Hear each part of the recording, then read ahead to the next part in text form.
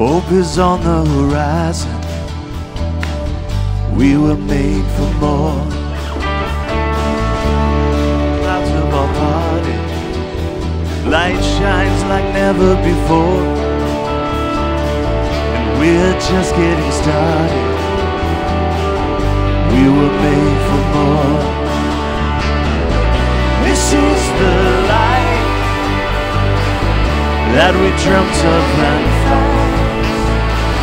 It's a marvelous light shines down. Waves of mercy are breaking on a golden shore, and heaven there for the taking. We were made for more. This is the life that we dreamt of and found. Into marvelous light that shines down.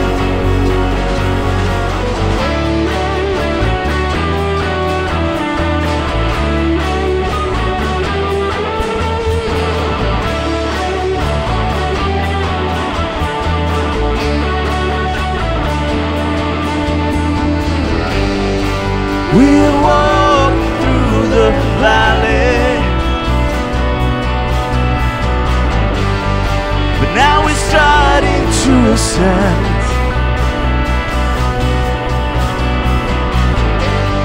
We will run the race that we've been given until we reach, until we reach the end.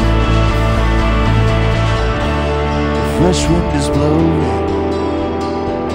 Something good is in store. Comes with the knowing. We were made for more. This is the life that we dreamt of and found. Into marvelous light shines down. This is the life that we dreamt of and found. Into marvelous light that shines down.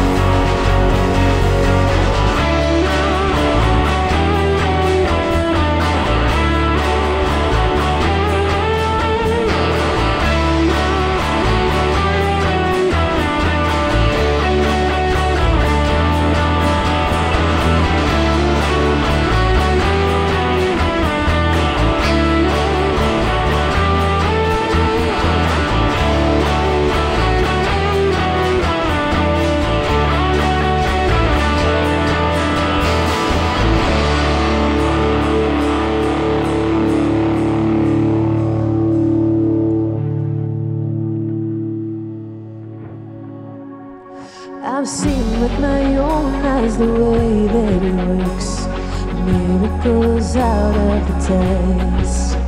It may look like it's over, but he says the word, and suddenly it's overcome. The moment he says it is done,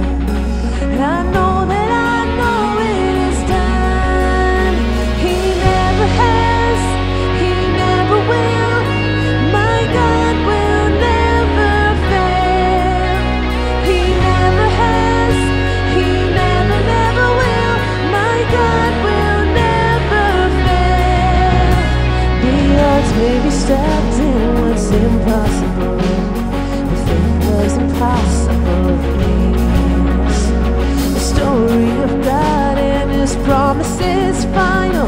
If He says it is, then it is.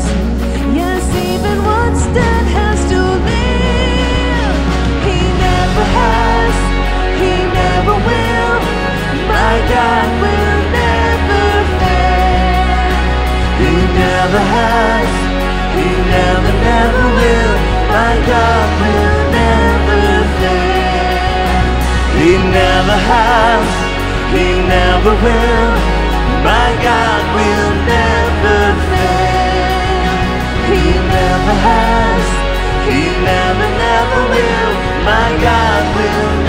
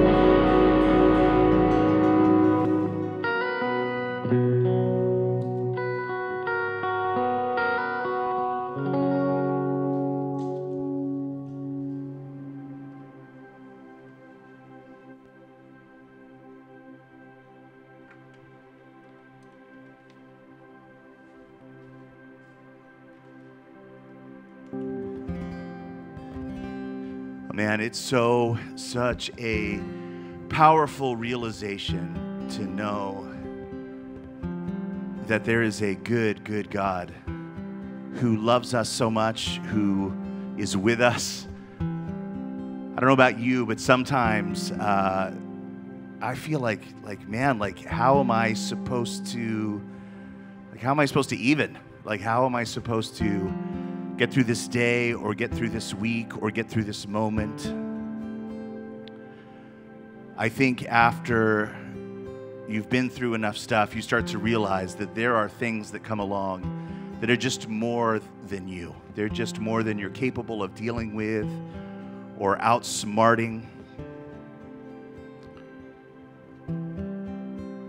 But there's another realization that comes that there's a God who has never failed us, who sticks with us through everything, who loves us just as we are, and who gives us the strength to, to carry on, and not just to carry on, but to overcome. This is not a uh, this is not a just hold on and hope that you make it uh, kind of life that He's called us into, but it's a life of overcoming, overcoming obstacles, overcoming challenges, overcoming things that you might be facing. And when we face those things, it is our moment to lean into Him and into His goodness. So if you're facing one of those moments right now, if it's been that kind of day or that kind of week or that kind of month or frankly, maybe that kind of life, I just want to encourage you to lean in right now. Sometimes that's just as simple as saying yes to God, saying, God, I want what you have for me. I want to live the kind of life that you planned for me. Maybe you want to just say that right now. I want to go where you want me to go. God, would you begin to just lead me into your path? My own leadership of my life has led me into some funky places. Maybe that would be your prayer tonight. God, would you just lead me? Would you guide me? Now would be a good time to pray that.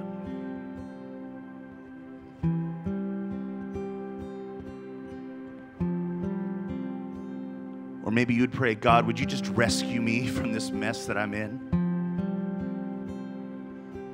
I'm not sure how I got here.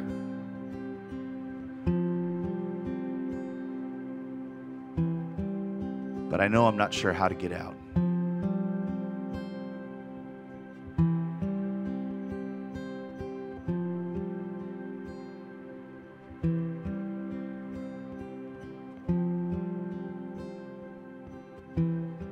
God, you have such good things. You have such a good life for us. We want to enter into that fully, God. No matter what we think we know, no matter who we think you are, God, you are better kinder and more loving and have even new adventures and new obstacles to overcome. God, tonight we want to be led by you, by your spirit, by your words.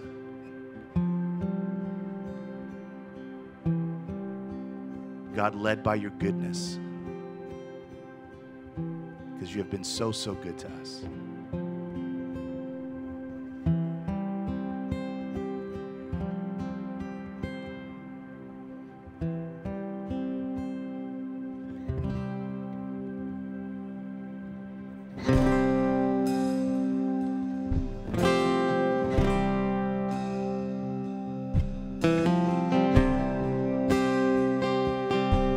Let's sing this together.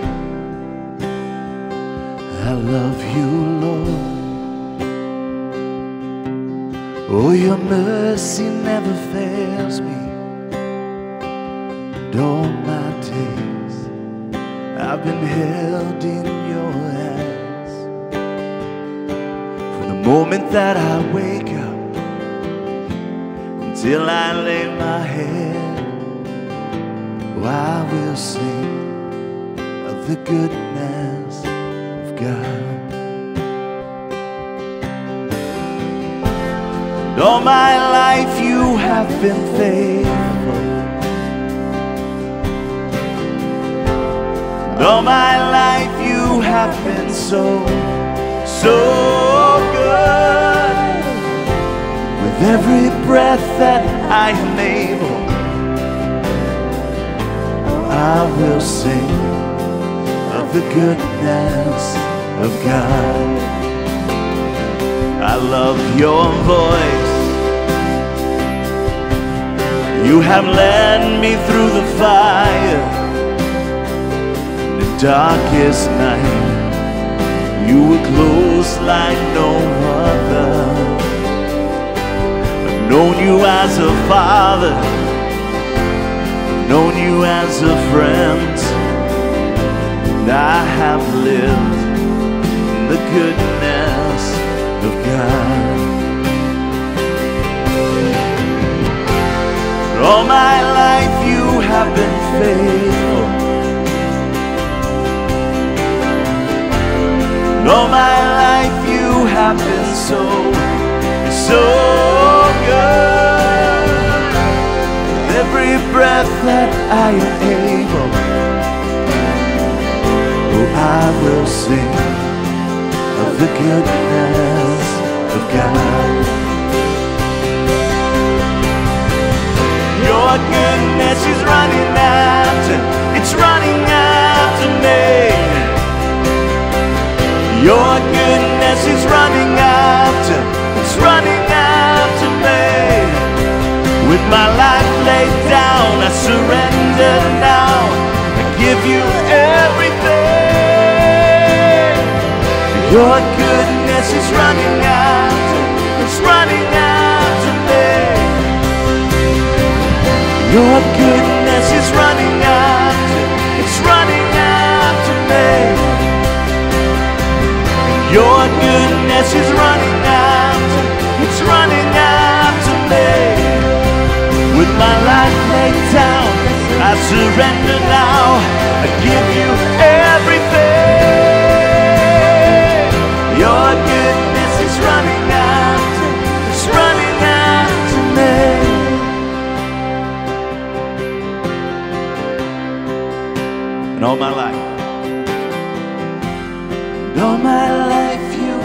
been.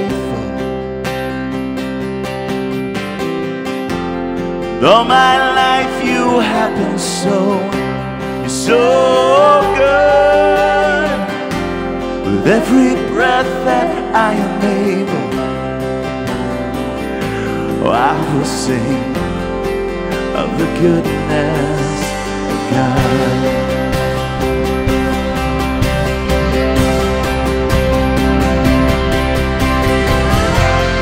All my life you have been faithful. All my life you have been so, so good. With every breath that I am able, I will sing of the goodness of God. Oh, of the goodness of God.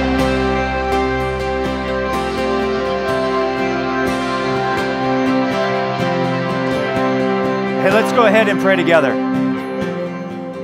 God, as we've sung, we celebrate the reality that it is your posture, it's your, it's your way that you pursue us, that you move towards us, and you do that with your goodness. And so I pray for all of us now that we would see greater glimpses of your goodness in our life, that it would be that it is coming after us. I pray for us as we're going through difficulty, that it would be your comfort and your strength that would come after us. I pray that as we are struggling to believe or to see ourselves the way you do, God, that it would be our identity that comes after us, that it would be hope that comes after us. And so fill us with the truth that we need and fill us with your goodness. We ask this all in Jesus' name.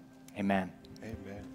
Well, welcome to Terra Nova, you guys. My name is John, and this is Scott. Before you guys have a seat, we got a question. Hey, hey. Well, next weekend, next weekend, we've got this big barbecue we're doing Oh, yeah. uh, after all of our services. It's like this party atmosphere. Uh, and so we're going to be grilling burgers and dogs. And so, my question for you is if people are coming over, if you're hosting people, what are you eating? Right? So maybe you go, you know, I like to grill too. Or maybe you've got this crock pot recipe that you, you like to do. Or maybe what you're eating is something that you order in because you're not cooking and everybody's happy about that. So, so my question Oh, for yeah. you is if people are coming over, what are you eating? So go ahead and uh, take a minute, turn to somebody, Mm-hmm. say hey, introduce yourself, and then ask them that question.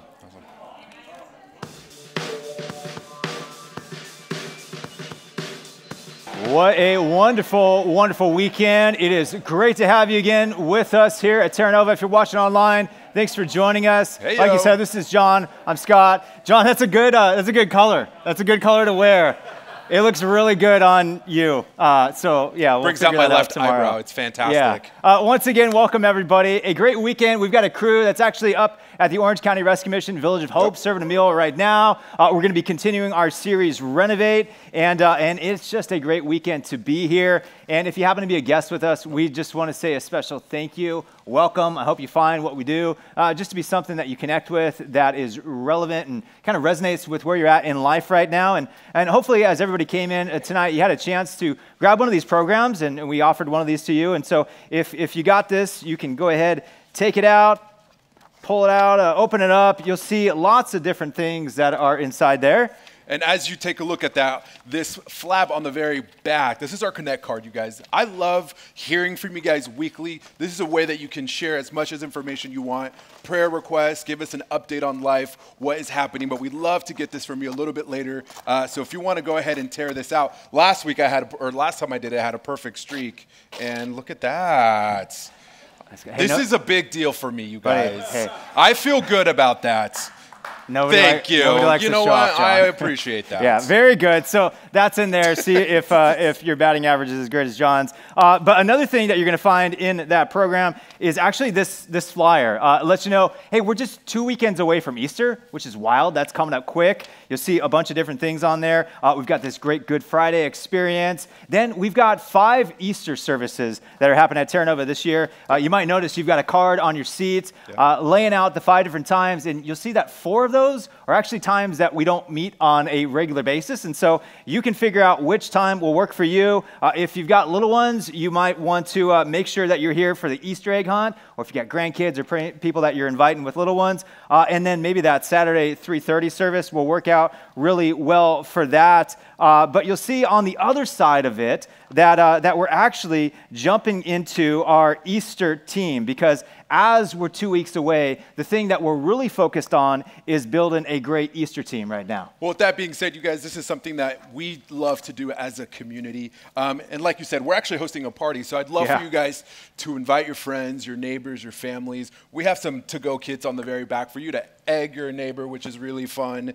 But this flyer has all of the information that you're going to need. So spend a few moments just checking that out. Yeah, and when you, you're having a party, you're having people over, you just want to make sure their experience is like top notch, that there's nothing that gets in the way from them enjoying their time. And that's our heart behind it. And so we're all the hosts, and we want to create a great experience. And so Yep. if you haven't already pulled this flyer out, uh, maybe do that right now. Or if you want to pull it open on the Terranova app, you'll see those all there as well. Um, but let me walk you through a few different things. And so I mentioned a, a moment ago that we've got this egg hunt that happens on Saturday. Uh, It's at 2 o'clock. And if you're willing to jump into that, I mean, we would love to have a great team to make that experience a, a lot of fun for the kids. And so you could serve there. Or speaking of kids, if you want to dive into one of our Supernova Kids classrooms, maybe you go, hey, year round, I don't know that I could do this every single weekend, but, yeah. but I can do this for Easter because as our friends are bringing their kids, I want to make sure that their kids have a great time. And so maybe you jump into our Supernova Kids uh, classrooms and, and help with that. Or maybe, uh, maybe you jump in and you want to be part of our guest services team.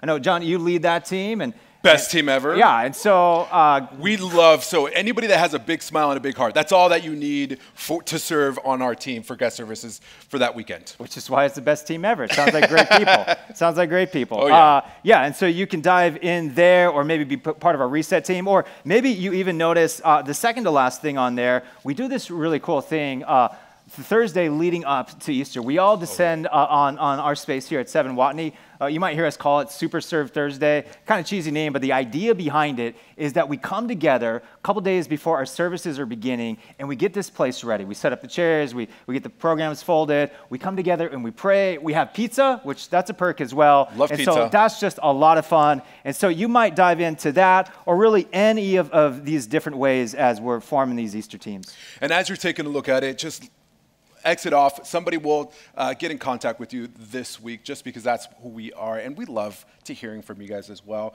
So thank you guys for being here uh, today. And uh, we're actually wrapping up, not wrapping up, we're at continuing in our series, Renovate.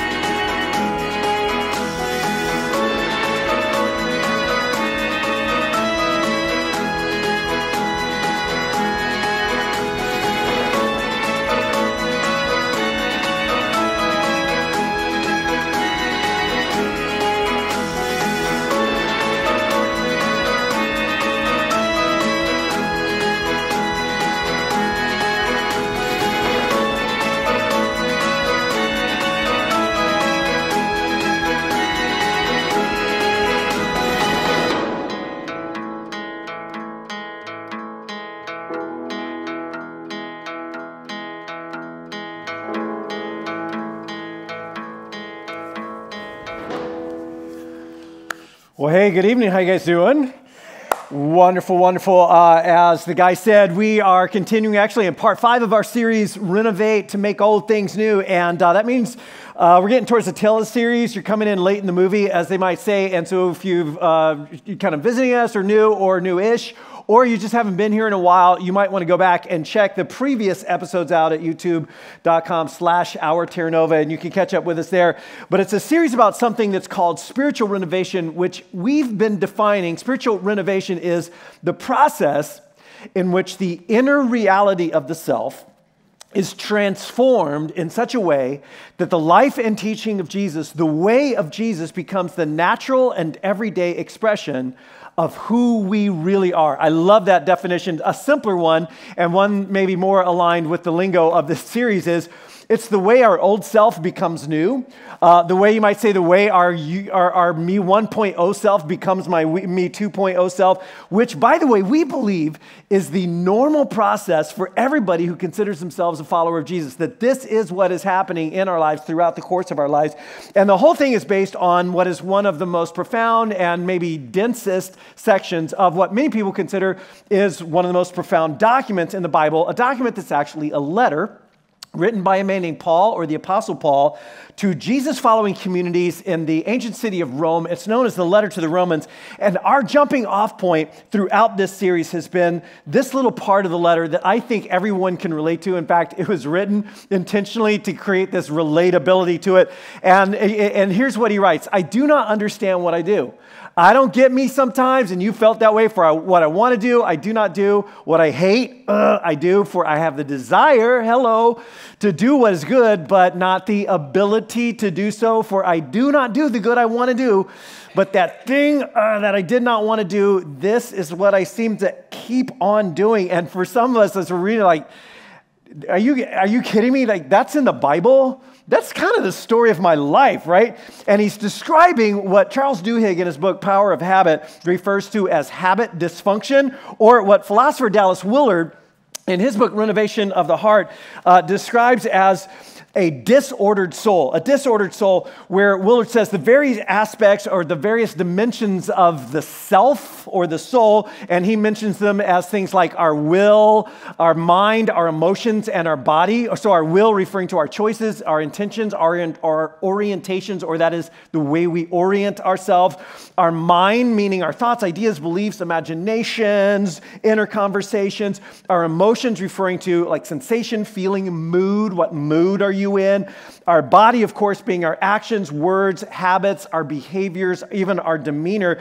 And he says, in a disordered soul, the various aspects of, or, or the dimensions of the self are like misaligned or misordered and are acting actually in opposition to one another. And Willard said, in the, dis- this, the disintegrated or disordered life, the order of dominance of these parts begins with the body which is controlled by this thing we've been talking about during this series, flesh, or what Sigmund Freud called the id. It's my appetites or my comfort, my happiness, looks, stuff, pleasure, which becomes the end goal of my life. It actually becomes my God. And so we say things like, I just want to be happy. I deserve to be happy. We say to other people, you should be happy. You should do what makes you happy. Like, that's the most important thing. That's the end goal. That's the God. And then everything else starts to fall in line to serve that God. And so my emotions end up being this tumultuous sea, riding the waves of my immediate happiness. You have ever been in this place where you're just up and down and anxiety and fear and pleasure, and it's my mood. What mood are you in today? My mind ends up just getting hijacked by all of that to justify the mess.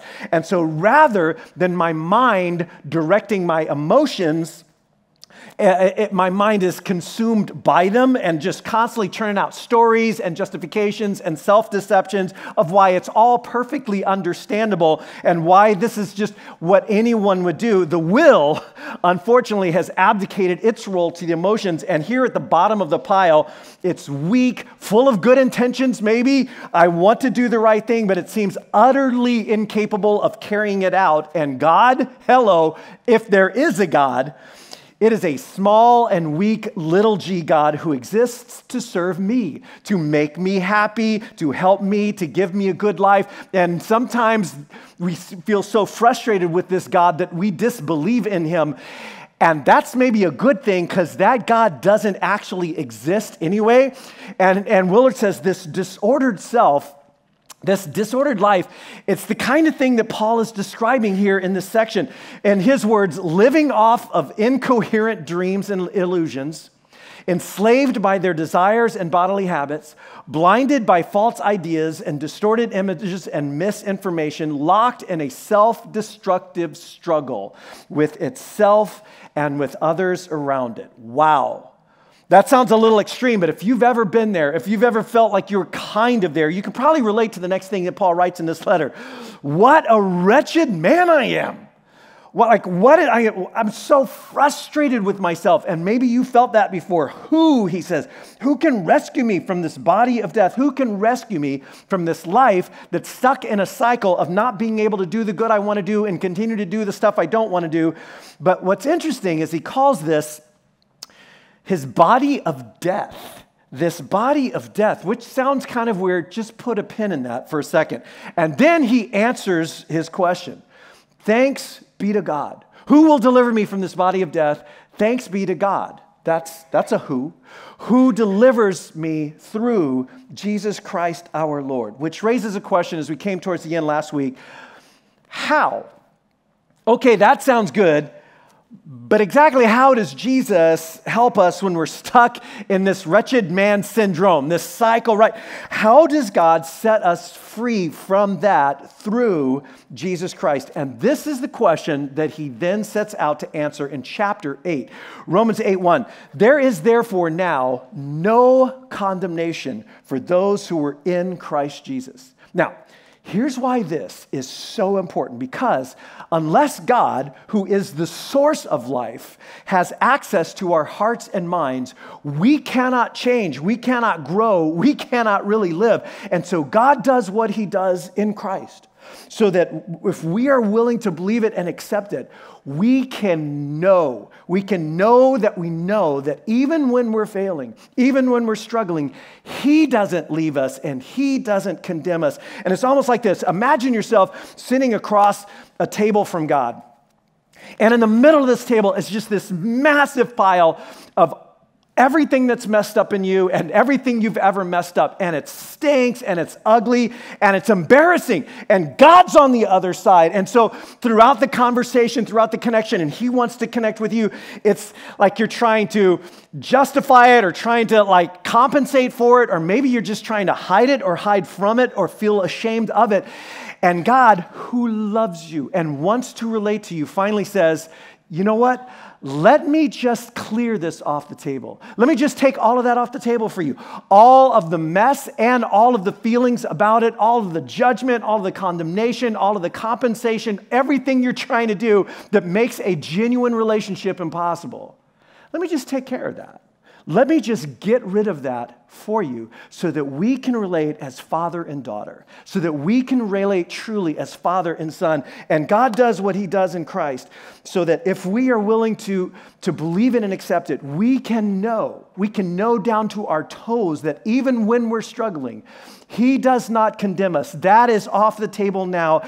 And that allows us to open up our minds and our hearts to God even while we're failing because that's when we need Him the most. Am I right? That allows us to stop leaning away from God when we fail and start leaning into Him. To stop pulling away from God when we fail, which is almost a natural everyday response for us. To stop pulling away from Him as we struggle and actually start pulling into Him. Because if I think God condemns me as I'm condemning myself, if I think He feels about me like I feel about myself, then I will hide, I will cut myself myself off from Him, the source of life, the source of the change that I want, and then I'll just fail more. I'll fail further. But if I know that God does not condemn me, then I can come to Him. No shame, no judgment, no fear, no compensating. I can come to him wide open when I need him. Then Paul goes on to say, For what the law was powerless to do, because it was weakened. So God's law, which he says it's good. I mean, it, there's nothing wrong with it. The standard's good, and like it's all whatever. All laws, religious laws, which may be good or may not be, your own ideals, however good they are, they are powerless to create in you the, the person that you were created to be. Constantly, as he says, constantly being sabotaged as they are by by the flesh. Now, there's that word again, the uh, flesh, which is a term Paul uses a lot, and it's kind of weird, okay, right?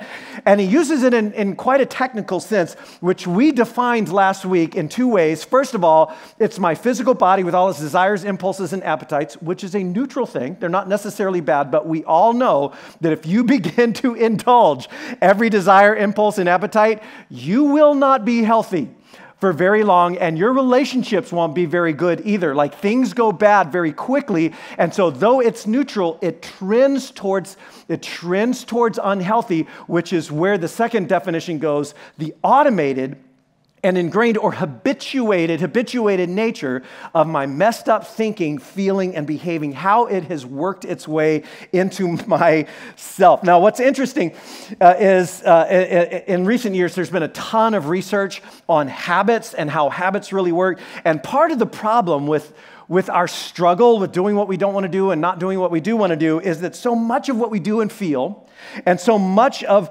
our natural, what we might say our natural or instinctive emotional responses and behaviors, are actually ingrained. They're automated, they're habitual. So much of life is lived on autopilot. In fact, I mentioned this book a moment ago. Uh, New York Times investigative reporter Charles Duhigg, uh, in his book, The Power of Habit, describes a study done by Duke University where they followed college students around for a number of days and they tracked all of their behaviors. They had these researchers tracking everything they did. And the question they were asking was, how much of what we do or how much of what they do is actual decision making? People are making choices, deciding things. And how much of it kind of feels like I'm making decisions, but it's really just habit. It's really just automated, right? And their study, in their study, they concluded or found here was their conclusion that 45%, almost half of all daily activities, were habit. They feel like we're making choices. I feel like I'm making a decision, but actually it's just habit, it's just automated. And here's the deal our consistent choices as we make them settle into our bodies as habits like Pavlov's dogs. You remember that study? Pavlov's dogs, they ring the bell, the dogs salivate, and just like that, certain ways become conditioned for us, habitual. You don't think about it, you don't make an active choice, but you end up doing it even when you don't want to do it, even when you're trying not to. I automatically say these kinds of I automatically relate, uh, react like that. I automatically filter things like this, see things that way, see that person that way. I automatically feel this or respond that. It's like it's ingrained, it's habitual. It's what Paul calls the flesh this body of death. But now he says, what the law was powerless to do, God has actually done. The law was never going to ac- accomplish this, but God has done it by sending his own son who took on the likeness of all our messed up humanity and on behalf of sin sabotaged people everywhere, he condemned. He came condemning, but he didn't condemn you. He came to condemn, but he didn't condemn me. He came and he condemned that thing called sin living in me, living in the flesh. He sentenced that dark power living in you to death. And here's the point in order that, in order that all of the rightness, all of the rightness, all of the right things that God wants for your life, all of the things that deep down inside you want and you wish you could do, and the person you wish you could be, all of it could actually happen, might be fulfilled in us who, and then he adds this line who walk around, who live their lives, who walk around through their days, not according to the flesh, but according to the Spirit. According to the Spirit, who we define, which we defined last week, he uses this term a couple of ways. Spirit, on the one hand, that is God's very own life giving presence and power that's always in the world, God's uh, life giving presence and power in the world and in my life. And then he uses a slightly different way to refer to the realm or the flow of that presence and power. It is his own personal active presence and power. And then there's this flow or this realm of that presence and power that, again, is always active, it's always available, it's always here, it's always now, the flow of God's Spirit. And for Paul, everything begins here. This is everything, like everything else we do as followers of Jesus, everything else we experience. This is the most fundamental, most basic practice of the Christian life. He puts it this way in, in another letter to the Galatians. So I say, walk by the Spirit, keep in step with the Spirit. And here's the idea the idea is that God's Spirit, His presence and power, it's everywhere. It's everywhere. Imagine it's filling this room right now. It fills this room, it fills your home, it fills your car, it fills the office, it fills the Starbucks as you're stopping by to grab that cup of coffee. It's like the air we breathe. It is always here. It fills everything as if there is this, if, as if there is in this world a steady flow, a steady flow of the life and the power and the grace and the guidance of God. It is always accessible. It is always available, and you can either live your days detached from it, disconnected, largely unaware of it, not even conscious of it, unempowered, maybe even resisting it or pushing it away, unwilling, or we can learn to live our days in the flow. In the flow of that life and power and grace and wisdom and guidance and renewal, connected to it, consciously in alignment with it, agreeing, cooperating with it, empowered and propelled by it, walking in the Spirit walking in the Spirit. For Paul, that's the whole ball game. Not trying harder, walking in the Spirit. Walking in the Spirit. Now, at this point, he's created this contrast. Like these two opposite ways of existence, these two different opposite modes of existing, if you will.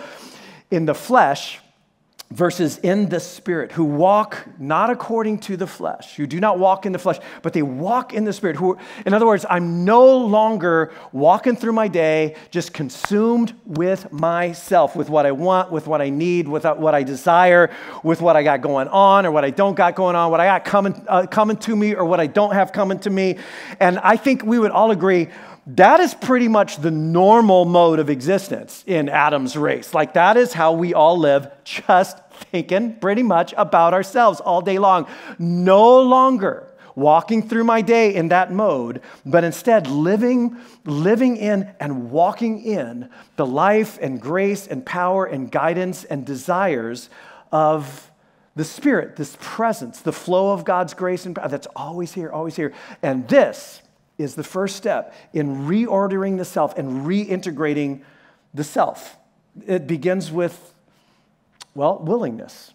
It begins with willingness, my willingness to cooperate with the Spirit, my willingness to walk with the Spirit. Now, what he says next and how this plays out is genius. It turns out there's a ton of research in recent years that has illuminated this for us. He says this Now, those who live according to the flesh, who are just in that mode of existence, they have their mind set on, or you could say they set their minds on what the flesh desires. On the other hand, those who live in accordance with the Spirit, who are walking in the Spirit, they set their minds on what the Spirit desires. In other words, when my appetites and my happiness and my impulses and my needs and my comfort become my God, the rest of myself begins to be ordered, or we might say disordered or misordered around that God, around that end goal. And my mind can't help but follow. My mind can't help but be consumed all day long with what I need and what, what I've got going on, my happiness or my unhappiness, however that might go. But if I begin to live my life, governed by the things of the Spirit, by what the Spirit desires love and joy, peace, long suffering, generosity, grace, asking God all the time, What is your Spirit up to? Like, what are you doing, God? What is your spirit wanting? What do you desire? My mind will follow. My mind will be carried along and shaped by those things. Now, the word he uses throughout this section for our minds and how we think is really key to understanding what's, what, where he's, he's going with this. And the word, and he's writing in the Greek language to this community, we translate it into English. The word, the term he uses is phronema. Let me hear you say phronema out loud. One, two, three. Phronema, phronema, right. And it's, it's not the word for a thought. It's not even the word for thinking. It's not the word for a, your mind. It's actually the term for a pattern of thinking, a way of thinking, a mindset, if you will, or maybe better yet, a mentality, a certain kind of mentality that you have. Now, cognitive psychologists tell us that there is a steady, steady, never ending stream of thoughts flowing through our mind all day long, every day. Ideas, assumptions, imaginations, inner conversations, beliefs just flowing through the mind at a rapid pace. And here's what they say over time, that stream of consciousness begins to form certain patterns in our minds, certain phronemas, if you will, certain, certain types of thoughts that actually come to typify you, that come to typify or characterize your inner life. And so we use terms like optimist or pessimist, joyful or anxious, can do or can't do, forgiving or gracious, or resentful and bitter. And this is exactly what he's talking about. This is what phronema is. In fact, when you describe a person in one of those terms, they're a really hopeful person, or they're a really positive person, or they're, they're kind of negative, they're a can do, they can't do, they're bitter. They're a, when we describe people that way, what we're really describing is their phronema the pattern of thinking that goes on inside them, their mentality, if you will, and how their phronema plays out in their actual lives. And what Paul is tapping in here into here is deeply true that what I do shapes how I think, and how I think shapes what I do. What I do, what I do, how I walk through my life shapes my thinking, my patterns of thought, and what I think about and ruminate on will come out in my doing. They are totally interrelated. And the person who lives their life just driven by what makes me happy and what I got going on and what I need and my appetites, a distinct pattern of thought is established in our minds, and it's all about me. It's all about me and maybe me and my three because my children are an extension of me, and maybe me and my spouse because in some cases my spouse is an extension of me, or the things that are extensions of me. But it's really all about that. That is what it's all about that. And my thoughts and my imaginations, my inner conversations, even my filtering, how I filter and see other people, are all shaped by that way of thinking and that way of living. And on the other hand, the person who lives by or walks around as best they can, just trying to walk in the Spirit just trying to walk according to the Spirit and what the Spirit desires, they learn to set their minds. Get this, to set their minds on what the Spirit desires. Asking questions like, what's, what's God's Spirit want here? What does He desire here? Man, I'm really frustrated. I don't like how this is going. God, what do you want? I know what I want. What do you desire? What are you up to in that person's life? I know what I'm up to in that person's life. But what is your spirit up to? Is it are we in cahoots or am I at working at odds with you? Like what is the spirit doing? Where is he giving life? And am I willing? Am I willing to cooperate with the spirit? In this, setting my mind, setting my mind like a sail on a sailboat. As the wind is constantly changing, setting my mind, setting my mind to where and how the wind of the Spirit is blowing, setting my mind on what the Spirit desires. And now, at this point, the reordering of the self has taken a very important second step as the will begins to direct or set the mind toward the spirit. And then he adds this the mindset, the mindset or the phronema of the flesh, it's, it's death, it's killing you. But the mindset, the phronema of the spirit, oh, baby, it is life and peace. Now, here's what's interesting. One of the findings of cognitive psychology is that every thought you have comes with a, a, little emotional charge, either positive or negative. A little emotional charge. Every thought you have either moves you up or down emotionally, one way or the other. Thoughts are never neutral. Letting your mind ruminate on something is never a neutral thing to do. And Paul is saying here that every thought comes with like a little spiritual charge. A little spiritual charge. Every train of thought you allow to continue, every inner conversation that you just indulge because it feels so sweet and self righteous at the moment, every rumination, every thought has a definite spiritual charge leading you either to more and more life and peace, more love, more joy, more goodness, more generosity, more grace, more self control, more faithfulness, or little by little, more and more to death and frustration and inner turmoil and outer turmoil, and ultimately the death of the person that you were created to be. In fact, he takes this even a little bit further. He says, actually, the mindset, the phronema of the flesh is death. The mindset of the spirit is life and peace. The mindset on the flesh is hostile to God. These are opposite modes of existence. These are two opposite ways of being. Hostile God, which is really strong language, right? Your mind on the flesh is an enemy to God. It is at war with God. And we are like, I hear people say all the time, oh, no, no, no, no. No. Like, I know I'm walking down this path, and maybe I shouldn't be walking down this path, or I know I'm kind of running with this stream of thought. Like, I got that going, I'm just going to let that flow. But me and God, we're okay.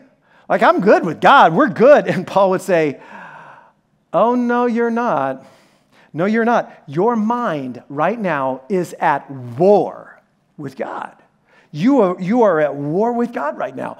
It does not, he says, it does not, it will not, in fact, it cannot, in that mode, do what God wants because it doesn't want what God wants. It isn't willing to do so. In other words, the difference between a life in the flesh and a life in the spirit. Uh, a life where all of the rightness that, that God wants for us and that we really deeply want can actually happen naturally for us, versus a life where all of that rightness literally cannot happen.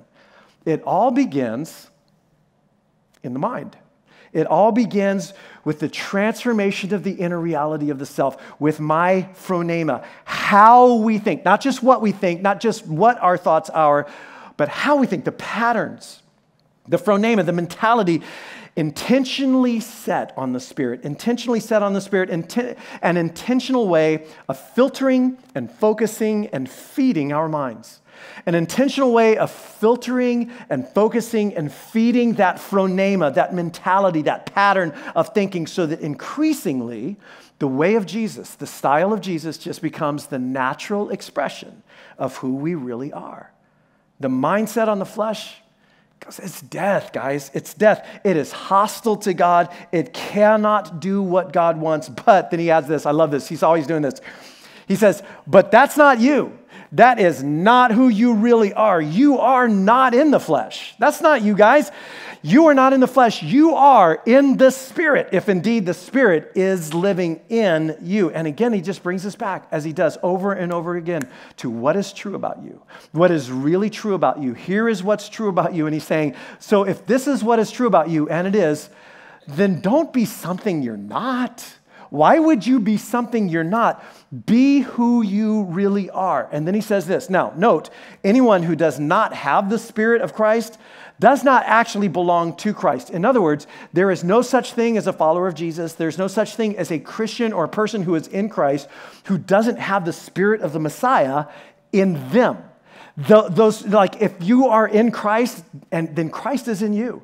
And that means you are now in the spirit and the spirit is in you. And this is what's true of you. And then he says, and if that's what's true of you, if the spirit of Christ, if the spirit of the Messiah is actually in you, well, then even though your body is dead because of that monster called sin, the spirit gives life. Even though you still have this body of, de- you have the same body. Like you have the same body as you did before you were in Christ, habituated as it's become by everything that's messed up around you and everything that's messed up in you. But he goes, but guys, that is not how the story ends. That is not how the story ends. The Spirit is the Spirit of life. God is the God who raises the dead, and you don't have to stay stuck in that wretched man syndrome. He gives life, and He will give life to your mortal body. Here's where He goes next. And if the Spirit of Him who raised Christ from the dead is living in you, and He is, He is, we already covered that, then He who raised Christ from the dead will also do the same for you.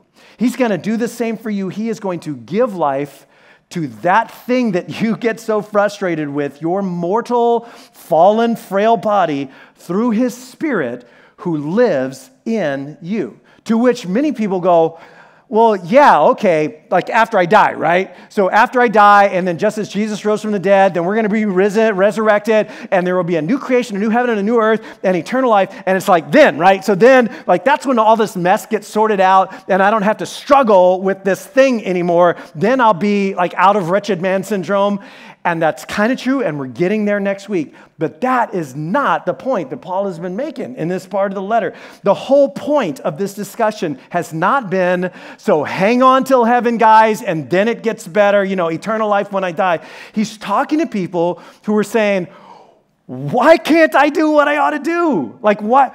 Why are my good intentions so darn ineffectual? Why do I struggle so much? Why, why am I so weak? Why am I such a, why do I do what I don't want to do even when I know better? Why do I say things that I swear I'm not going to say?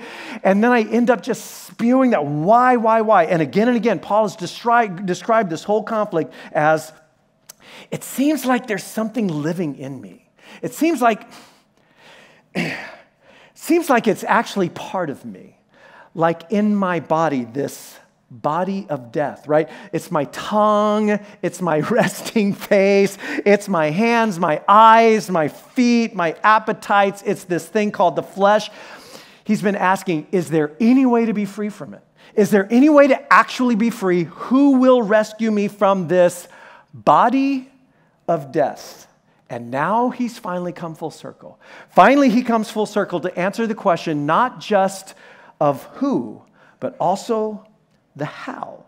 The how this actually happens in our this lifetime life. And what Paul has been describing is what Willard describes as the reintegration or the reordering of the self, where these various aspects or dimensions of our self or person become aligned, become properly ordered, open to the flow of God's life giving spirit as God truly becomes God. Not at the bottom of the pile, but at the top. And as in Christ, I am learning to cooperate, learning to cooperate, through, co- cooperate with the Spirit and becoming who I am, learning to walk in the Spirit, to cooperate with the Spirit. There is a reordering, there is a reintegration or alignment, if you will, that begins to happen in me with my whole self that allows the life of God to flow freely in me and to restore me to my full and true humanity. And so Willard says, here's what such a person looks like. Here's what the reordered soul looks like. Here's what the integrated self looks like, where God, the creator of all and the source of my life, is the one whom I serve, not the other way around. He does not serve me, I serve him. And then the will takes its proper place in the order, and the will's role is to position the rest of the self and dependence on and devotion to God to the flow of that life. And the will does so primarily by ordering and setting the mind. And it does so, by the way, back up, it does so through willingness, through this thing called, is that not on there? Is willingness on there? No? I deleted that, huh? All right, it's not on there. Okay, back to will. Uh, so it does so mainly, I'll add this for tomorrow, they just won't even know. Uh, it does so through willingness. Now, this is kind of important. Willingness, not willpower. So, if you're taking notes, you just write that down. It's willingness, not willpower. Willingness, not willpower. This is different than me trying harder, exerting my will over, uh, you know, Im- Im- un- un- impassable odds. It's just like, I'm willing, okay? I'm, I'm willing. In fact, sometimes as I'm struggling through something and I find myself locked in the struggle, I'll actually say, God, I don't actually know if I want what you want because right now I kind of want what I want. I kind of want my mind to go in this place. to just like I, I want to, to indulge this knuckleheadedness for a little while. I don't know that I want what you want, but I'm willing. I'm willing. I'm willing to want what you want. And sometimes I even go one step further and say, I'm willing to be made willing.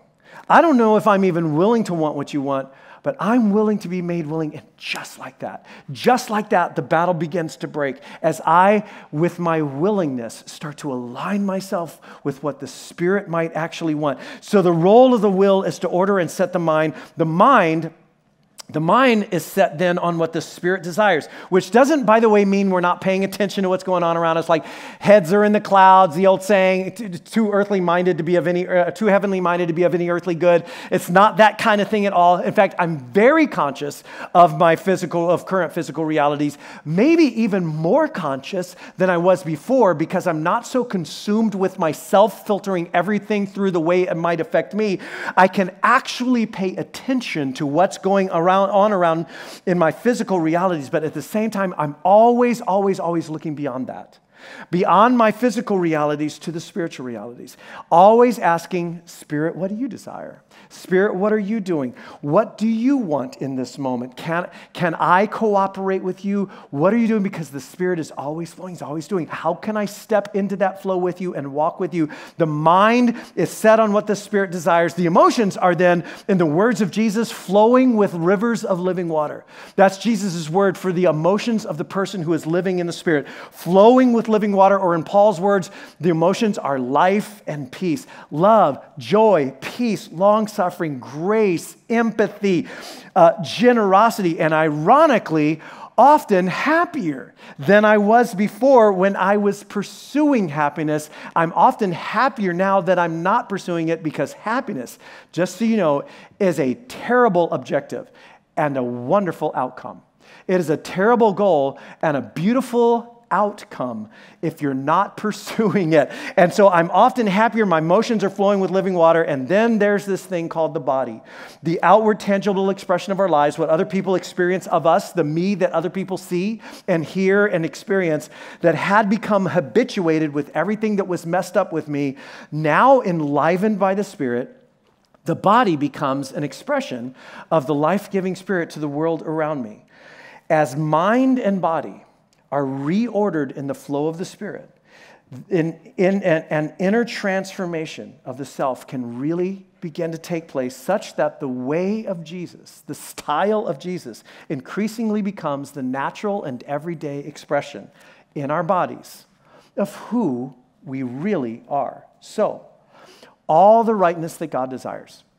And all of the rightness that deep down we desire is fulfilled in us, begins to be fulfilled in us not by trying harder, not by gritting our teeth, not by willpower, but by willingness. Willingness as we walk according to the Spirit, as we learn to walk according to the Spirit.